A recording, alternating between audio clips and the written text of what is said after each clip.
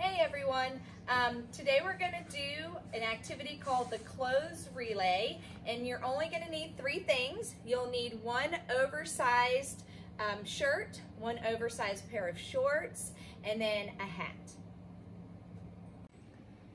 Okay, we have um, a an oversized shirt and a hat down there at the end cone and then a pair of shorts here by the start cone. So when we begin, she's going to run down to the end cone put on the t-shirt and then she's going to run back here to the start and put on the pair of shorts and then back um, to put on the hat and then she's going to cross and finish here where she started.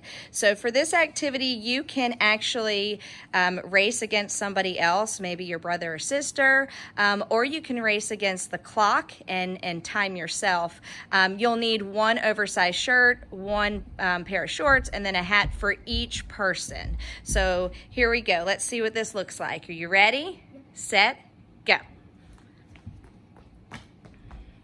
So as fast as she can, she's gonna try to put that shirt on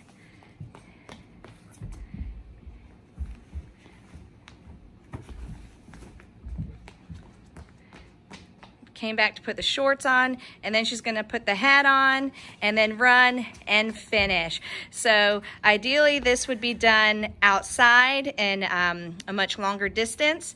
Um, and like I said, you can have uh, multiple players doing this. You just need one shirt, one hat, and pair of shorts for each person. We hope you have fun.